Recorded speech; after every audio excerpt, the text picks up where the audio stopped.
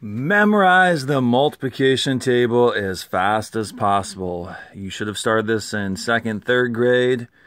And by fourth, fifth grade, you need to have this automatic. Why am I bringing this up? We are going all the way back to Unit 1, numbers 1 through 5 for NBT 1, recognize concepts of place, value, and division. Now, for the students, you are gone this next week due to the coronavirus.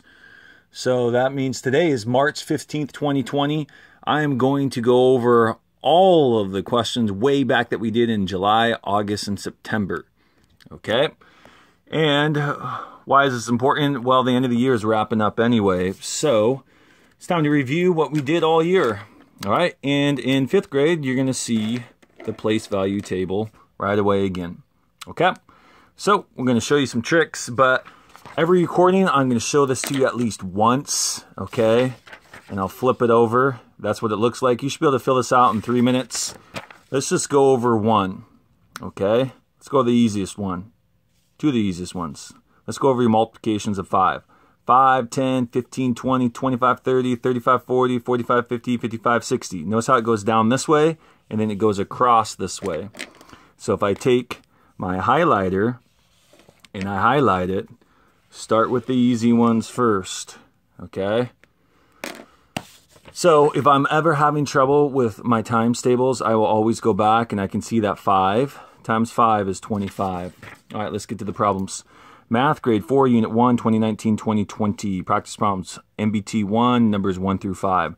Select the statement that explains how the values, keyword values, of the numbers 5,400 and 54,000 are different. Okay. Important words values, statement, numbers. Now, there are a lot of different tricks that we can use to solve these problems in different ways, but I am going to start off drawing out the place value table, which all of you need to memorize. It should have been memorized by now. Uh, if we're looking at the problems, notice how it's consistent times, times, times. 54,000 is 1 times as large as 5,400, 10 times, 100 times, 1,000 times. I will prove it over here. So first off, let's make sure that I can squeeze it in. I'm going to go like this.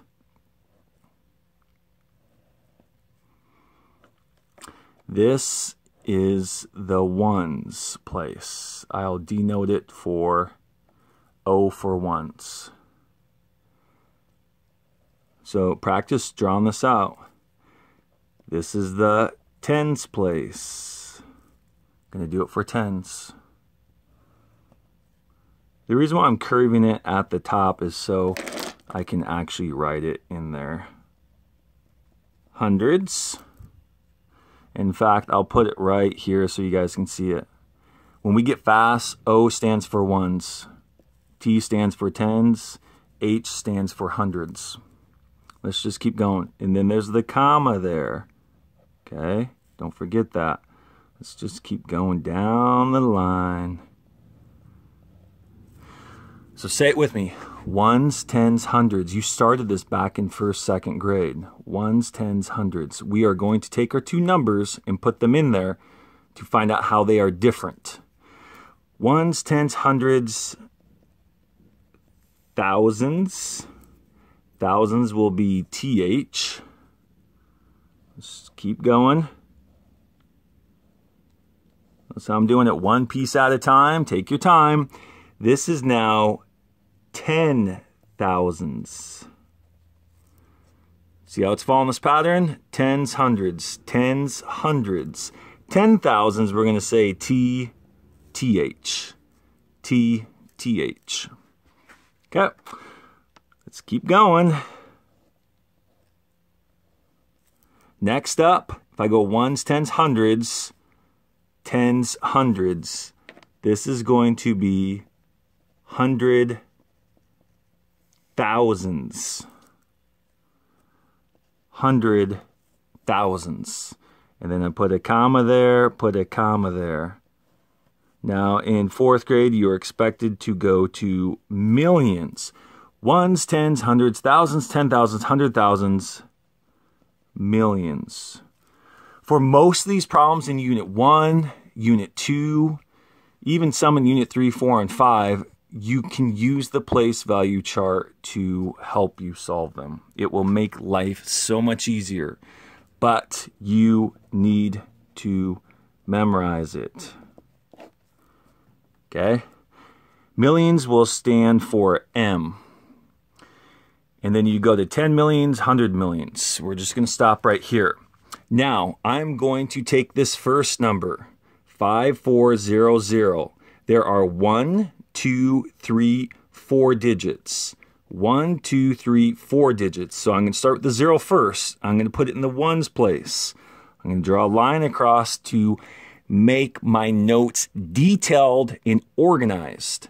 One zero, one zero, two zeros. Notice how I'm underlining the zero? One digit can explain a lot. Okay? You'll see that in a moment. After the zeros comes a four and comes a five. Now, when I have students struggle on this, it's just because they rush through it. They don't align the numbers. They don't write out the place value table. Okay? This is on six minutes. Once you have this memorized, you can do this super fast and just do it abbreviated like this. O T H T H T T H H T H M. Say it with me one more time. Ones, tens, hundreds, thousands, ten thousands, hundred thousands, millions. So we have 5,400. I'm going to put the comma in there. Now they didn't put commas in there. They just didn't do it. Next number. Notice I have one, two, three zeros. One, two, three zeros. One, two, three zeros. And then I have four and the five. Four and the five. Okay? Now we need to see how they are different. They are only different by one place. Notice that? They are only different by 54,000 has one extra zero. I'm going to put it in orange.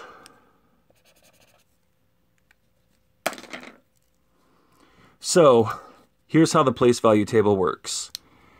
Every time you move over one, it's times 10. Okay?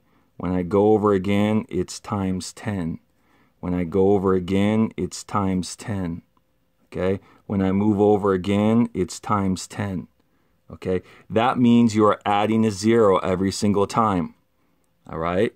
The only difference between these two numbers, notice how this one has three zeros, this one has two. So if I stack them just like that, the difference is 10 times. That's it. 10 times. See that? We just went over one more place. All we did was add a zero, which means you would take 5,400 times 10. Let's see that. Let's prove it. If I take any number times 10, our 10's trick is I just add a zero. 5,400 times 10, I just add a zero. 5,400 and I add that zero. Okay? So therefore, I know 54,000 is 10 times as large as 5,400. I've shown it here on the place value chart, and I've shown it right over here. Okay? See that? It's just one more zero, so all I do is add one more zero.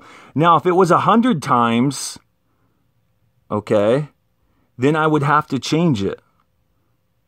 All right. I would have to add another zero. See how there's two zeros here? There's no zeros here. And then there's three zeros here. So if I said 5,400 is 1,000 times as small as 54,000, we're talking the difference of three more zeros.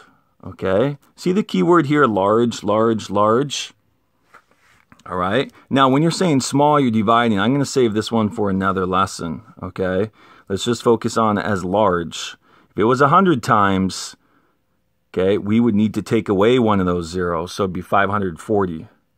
All right. So memorize the place value chart. And then hopefully right away you clearly see, oh, it's just one place over, which means it's times 10. If it was two places over, it would be times 10 times 10, which is 100. All right. These takes a lot of practice. We will practice these a lot. Okay. There it is. That's 10 minutes. Way back to July. All right, so there we are.